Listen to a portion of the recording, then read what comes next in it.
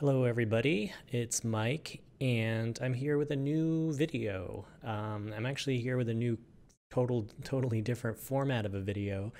Um, I'm gonna try something new here. So we've had a lot of time on our hands, I think, kind of across the globe, and I've been trying to fill out a sketchbook. Um, I've never actually completed a sketchbook, and so I thought, um, since I'm drawing so much, I thought it would be a really good time to start recording and sharing those videos with you um, in an attempt to kind of share my process of how I go about drawing and um, sort of experimenting.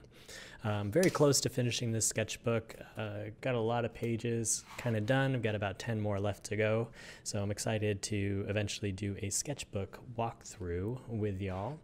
Um, but yeah, the purpose of this video is to uh, start sharing my own personal process. I'm not going to be doing any voiceover during it. It's just more of an opportunity for you to um, watch it in action.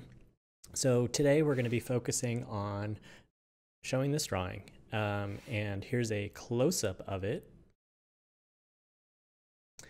And so uh, with this drawing, it's all done in colored pencil. Um, another thing I want to do in these videos is kind of talk about the mediums that I'm using, uh, just so you have access to them, sharing links to them, um, and things like that. So I guess first I'm using a uh, Moleskine Artist Sketchbook. It's got kind of a thicker, a thicker paper um, than uh, some of the other sketchbooks they have. Uh, so it's it's heavier, it's pretty durable. Um, in addition to that, I'm using Prismacolor, Verithin colored pencils. And I'm not sponsored or anything like that. I'm not getting paid to talk about these products. Um, these are just products that I really like to use. Um, these color pencils from Prismacolor are um, very hard. Uh, they come in packs of, I think, 12, 30, 24, and 32.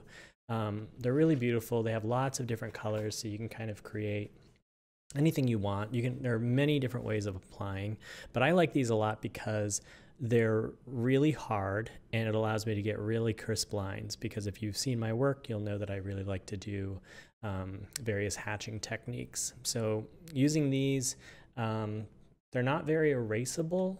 So that's something to keep in mind. Uh, they're a little bit erasable, some of the lighter colors, but you have to have gone in kind of light with them.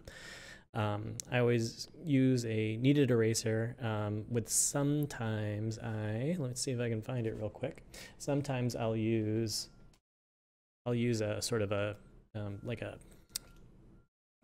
uh, retractable eraser. I don't even know what these are called, but they're, they're a much firmer eraser um, that helps you get into sort of the smaller places.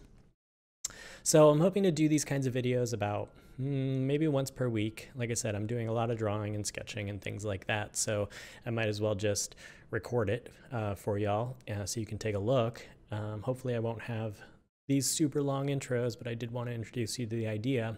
So the, the way these videos will go, I'll do a little intro and then I'll do a time-lapse version of the drawing so you can kind of get a sense as to whether or not you actually want to see it unfold in real time.